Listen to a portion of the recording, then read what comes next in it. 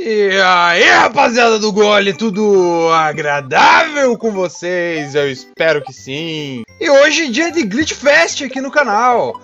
Basicamente, eu participei de um evento na Speedruns Brasil para angariar fundos para o Rio Grande do Sul. E para esse evento, eu preparei um Glitch Fest exclusivo, onde eu entrei no mundo especial de Super Mario World e quebrei completamente o jogo.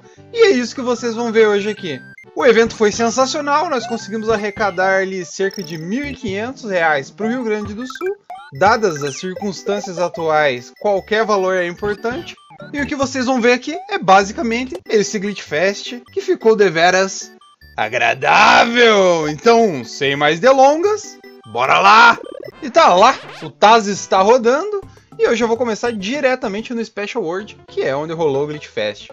Em Gnarly, a primeira coisa que eu vou fazer é basicamente fazer o Infinite Rope Glitch, onde eu consigo subir em todos os lugares, porque eu basicamente desbloqueei essa habilidade ao tocar naquele bloco de cimento ali ao mesmo tempo que eu segurava a cordinha. Então o Mario agora ele consegue subir em todos os lugares e eu clipei para fora do level usando esse glitch aí. Ficou deveras agradável. E é engraçado aí, porque tem uma vida secreta naquele espaço que eu passei ali, mas como eu passei de baixo para cima, a vida não aparece. Você precisa passar de cima para baixo. Esse jogo aí é uma comédia, galera. Aí eu só tô duplicando blocos, um pequeno corner clip para me manter dentro daqueles blocos enquanto eu giro à toa. aí já pegamos o Yoshi aí, e agora eu vou começar a fazer uns itens invisíveis aí, que é basicamente as chaves e as wings, né, as asinhas de Yoshi. Isso acontece por conta da Dragon Coin, que deveria estar ali, não tá mais, então eu consigo fazer essa putaria aí. Caralho, olha aí, já aconteceu muita coisa, cara. É difícil comentar um Glitch Fest pesado. Geralmente quando eu faço os Glitch Fests pra Quebrando Super Mario World eu pego um pouco leve. Mas aí no caso eu peguei um pouco mais pesado e o negócio tá ficando maluco aí. Eu fiz a. Eu troquei a Vine de lugar ali e agora tô duplicando os Yoshi. Os Yoshi. Olha aí, a minha cabeça bugou. É o álcool, rapaziada. Olha aí o. Opa. What the fuck, mano? Eu já nem sei o que, que tá acontecendo nessa delícia aí. Daqui a pouco eu vou ter que ir pro comentários é graça. Pega, vai, volta, tá lá, menininho. Aí eu vou spawnar uma asinha e comer a asinha meio que fora da tela ali, porque eu dei uma bugada ali. Basicamente, como todos os sprites slots estão cheios, eu consigo manipular onde as sprites vão spawnar. E a maioria delas eu fiz spawnar na língua do Yoshi, o que dá um efeito bem da hora ali naquele comecinho agradável. E aí, já vamos pra Tubular, a fase mais difícil do Super Mario World. Tá, Tubular não é tão difícil assim. E aí eu já consigo spawnar, ó, fazer um item swap com o Chuck e spawnar essa sprite invisível aí, que deixa o jogo todo zoado e o jogo começa a lagar e bugar a porra toda. Daqui a pouco eu vou matar a sprite, vai dar pra ver ali, desse jeito. Tá lá, sprite morta. E agora eu vou usar essa mola e esse Yoshi pra concluir o level, que é deveras agradável. Tá lá? A molinha ficou em cima da Piranha Plant, mas simplesmente não é problema agarrar ela, porque eu tenho um Yoshi azul. E o Yoshi azul é super poderoso. Aí tem swap com a bola do Chuck, sim. O Yoshi gosta de colocar a bola do Chuck na língua. E agora vamos passar por cima do level. Simplesmente tem... A tubular ela tem um teto, que tecnicamente seria para impedir você de passar por ele. Mas é possível passar se você atravessar o limite desse teto. Que é o, o teto é basicamente só um cano. Então é facinho de atravessar. Aí assim que eu atravesso o limite do, do teto, eu fico em cima do level e termino ele. E aí a fase Way Cool, aí eu vou fazer uma coisa deveras desagradável. Basicamente eu mudei o game mode do jogo e fiz o jogo força, tipo, forcei o jogo a ler o, o level como se fosse um mapinha. Então eu consigo fazer um uma um wrong warp que seria para um castelo. Só que como eu não tô num level de castelo, ele só recarrega aí o, o Eiku. Só que agora ele tem a flag de 100 Yoshi. Então eu não consigo manter Yoshi no level. Vocês vão reparar aí que eu vou conseguir alguns Yoshis bugados. Depois de clipar no cano. tá lá. Aí eu tenho 10 Yoshis aí. Mas vocês vão reparar que assim que eu entrar no cano com os Yoshis invisíveis e tudo mais, na próxima sala eu venho sem Yoshi. Isso porque basicamente o level, ele tecnicamente ele é um castelo agora.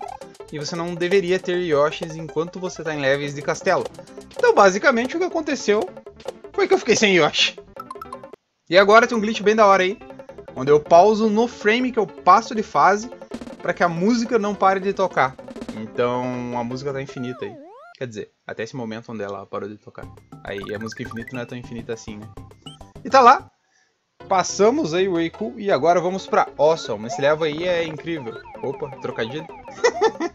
Eu clipei para dentro da parede usando a plataforma ali. É um glitch que foi usado no comecinho da Armageddon ali, basicamente, só que um pouco mais fácil de fazer nessa situação aí, porque eu usei a, o scroll da câmera e o momento que eu toco na plataforma. Então eu só entrei na parede e fiquei voando para não morrer esmagado. E agora, GG. Agora eu vou pegar e vou usar esse casco amarelo para criar um P-Switch, né? Um disco switch. Basicamente eu vou forçar aquele cupo amarelo a entrar no casco, só que eu spawno o P-Switch. Aí o cupinha entra no P-Switch. E por ele entrar no P-Switch, o P-Switch vira um disco switch, então eu consigo mudar as cores dele. Cheguei a postar um shorts mostrando esse glitch aí, conseguindo alguns switches bugados aí, como é o switch vermelho aí. Cara, eu acho muito da hora essas, tipo, esses glitches que mudam a paleta de cor de alguns itens do jogo. Aí eu vou fazer um stun glitch no Res, no Res, no Rex, falando que minha cabeça tá bugada hoje, rapaziada. que vai gerar essa Magicupa aí, essa magia do, do Magicupa. Eu ia falar Magicupas médico ali, eu tô falando. Vai acontecendo muita coisa, a cabeça da gente vai lá pro caralho. Que delícia, cara. Aí tá lá. Agora temos o switch grande e gostoso aí. Já spawnamos outro switch. E agora vou usar a bomba aí pra bimbar nela duas vezes. E agora eu spawnei uma sprite de saída de Ghost House. Basicamente, a saída de Ghost House ela é uma sprite, aquela, aquela portinha que tem nas Ghost House. Ela é uma sprite, por eu spawnar ela aí, ela dá essas bugadas aí no level. Parece que dá, tipo, o Yoshi fica invisível e vai aparecendo uns tile ali, uns quadrado bugado no canto esquerdo da fase. Então, isso foi por conta da sprite que eu spawnei. Se eu fosse lá pro comecinho, ia, tá, ia dar pra ver a porta lá, mas toda bugada. Então eu acabei que eu nem mostrei isso no Glitch Fest aí, só pra... Fiz pelo meme, tamo aí, né? O meme é uma delícia, cara. Aí clipamos o chão ali, porque é fácil, né? As paredes, o chão, todos os cantos do, do jogo ele é, são meras sugestões. Ali eu engoli um Poké inteiro, usando o Yoshi. Basicamente, se fizer um item swap no Poké, você consegue engolir ele inteiro, então você não come, tipo, segmento por segmento. E agora eu vou fazer um stun glitch no Poké também, para conseguir um Poké todo bugado. Desse jeito aí. E agora eu consigo fazer umas palhaçadas aí com esses blocos aí, porque o Poké basicamente a hitbox dele fica bem mais abaixo do que parece. E aí ele duplica os blocos dessa maneira toda bugada aí. Tá lá, eu usei esses dois cascos aí porque eu preciso duplicar esses blocos de Yoshi. Porque agora eu vou setar outro glitch aí usando os Yoshis, então eu precisava duplicar. Inclusive foi mó complicado fazer todo esse rolê aí pra setar os sprite slots corretamente. Mas uma vez que foram setados, eles ficaram deveras agradáveis. E aí agora eu vou fazer mais uma manipulação do sprite slot pra conseguir fazer essa esse item aí jogar duas bombombe. E para matar o Yoshi com a explosão. Pra quem não sabe, você consegue explodir um Yoshi se ele tiver no sprite slot específico. E aí eu basicamente agora tô imortal aí porque eu tô com Yoshi invisível e Yoshi invisível não toma dano. Pelo menos não até tocar numa Extended Sprite. Que são essas sprites menorzinhas aí, como é o caso da, da Lotus ali. Então, quando o Yoshi invisível toca nela, e ele toma dano. E agora eu voltei porque eu preciso de um Yoshi para fazer o próximo level. Então eu usei todos aqueles Yoshis anteriores para conseguir matar um Yoshi com a explosão na Bombom. E agora eu vou usar esse Yoshi aí pra começar o próximo level e quebrar um pouco mais. E aí tô fazendo um shell jump aí de um jeito desagradável. Aí o Poké desapareceu, simplesmente ele forfeitou da vida. ele desistiu e morreu, então paciência, né? Grande Poké.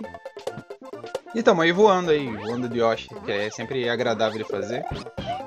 Eu nem lembro o que, que eu vou fazer agora. Ah, eu vou fazer um glitchzinho com, com a Lotus ali. Eu basicamente uso essa Lotus pra criar essa sprite. Parece uma mole, mas não é uma mole, é uma sprite toda bugada. Dá pra ver que a hitbox dela é bem maior do que o normal. Vale ressaltar também que eu não vou ficar pausando nesse Glitch Fest aí, porque se, se eu for pausar para explicar cada glitch, nós vamos ter pelo menos aí uma horinha de vídeo e é um vídeo longo demais. Eu só quero mostrar o Glitch Fest com comentários agradáveis em cima. E já tô ficando sem voz, daqui a pouco, delícia. Sei lá, né? Acontece. aí eu usei a plataforma do Hammer Brother para criar esse tile aí, esse bloco bugado. É só gráfico, tá? O mancha ainda tá ali, eu tomaria dano de qualquer jeito. Mas é legal mostrar esses gráficos visuais aí. Aí eu vou fazer um Layer Switch Glitch. Basicamente eu tô entrando no cano enquanto eu me transformo. E aí se eu me transformar eu consigo mudar a camada que o Mario está. E como vocês podem ver agora eu tô tipo atrás do background, o que é agradável. E eu taquei fogo no nosso Yoshi, né? Já viram que esse Glitch Fest aí é uma tortura de Yoshis, né? Basicamente a gente já queimou um vivo, daí depois a gente explodiu um na Bombomb. Enfim, vai acontecendo várias coisas com o nosso amigo Yoshi. Mas se vocês acompanham os shorts do canal, vocês já viram que o Yoshi se vingou do Mario algumas vezes. Então, acho que tá tudo, tá tudo safe, agradável. Agora, basicamente, eu vou pegar um casco ali, porque é sempre bom ter um casco pra fazer glitch.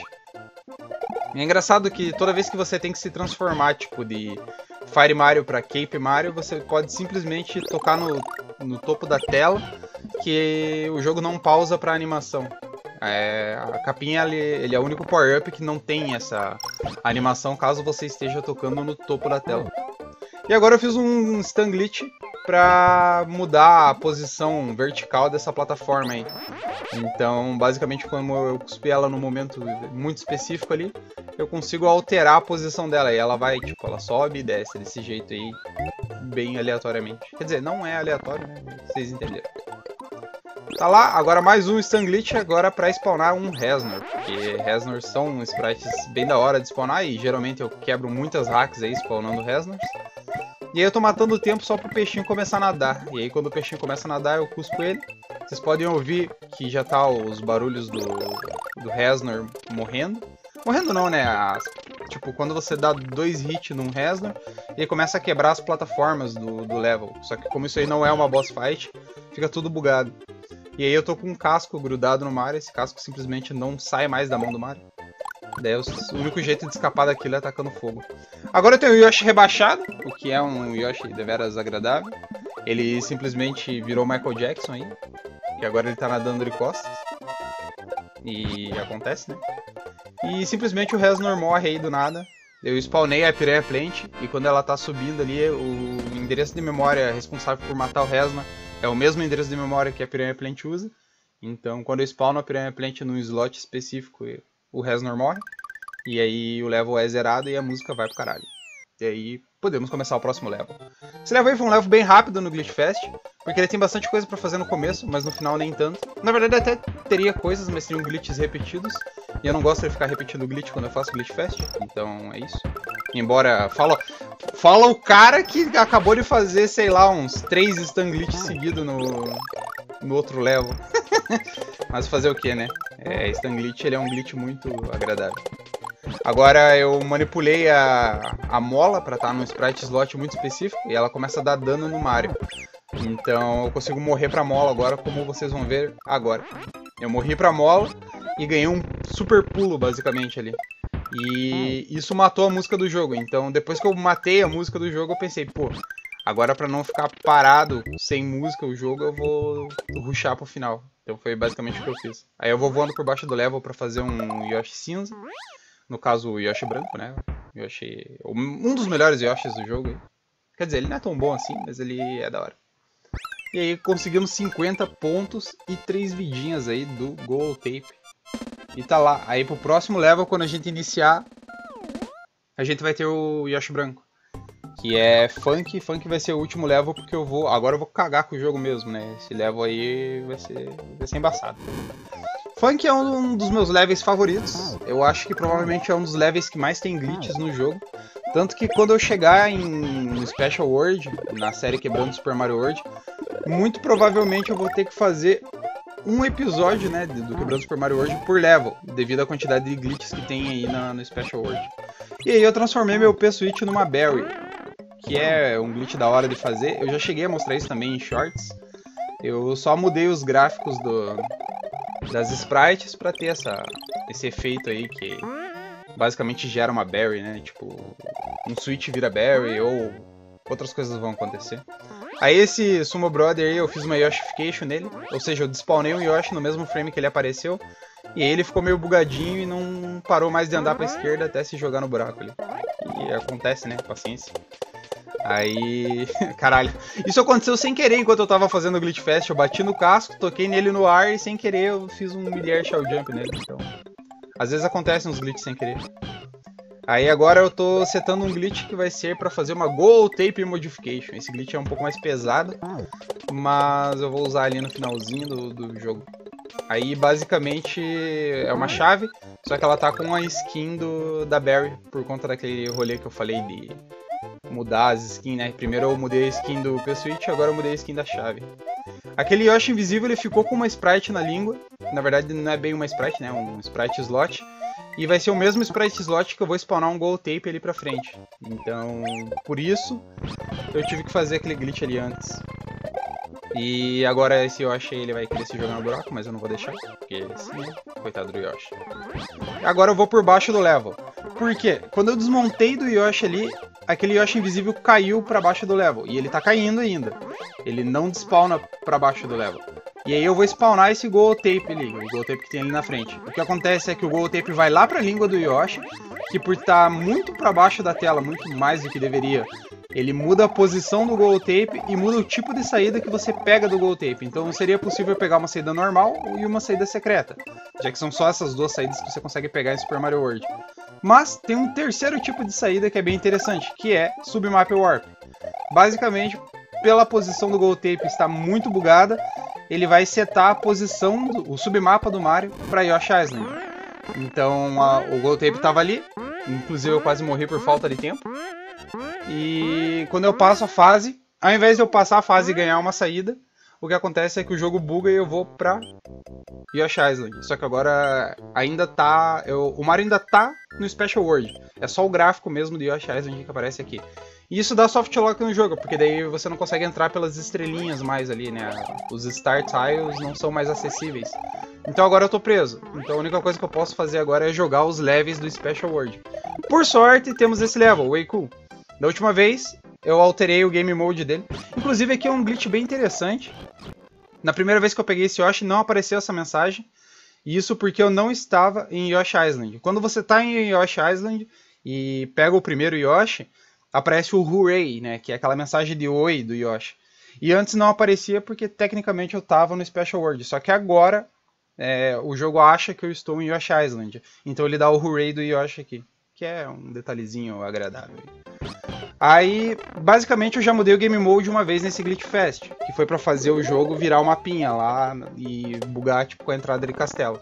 Só que agora eu vou fazer outro bug que vai mudar o Game Mode pro Game Mode de zeramento. Então, basicamente, o jogo é finalizado e eu consigo fazer um Credit Swap aqui para encerrar o Glitch Fest aí com, uma mensagem de final, né? Então, como esse Glitch Fest não tinha Ace, essa foi a única maneira de fazer o, os credits, né? O Credit Swap sem Ace. Então, tá lá, Glitchfest finalizado, rapaziada. E esse era o vídeo, espero que vocês tenham gostado e eu gostaria de mandar aquele abraço para os membros do canal. Muito obrigado, rapaziada, por apoiar esse canal, por me dar essa moral que vocês dão. Tamo junto e até uma próxima.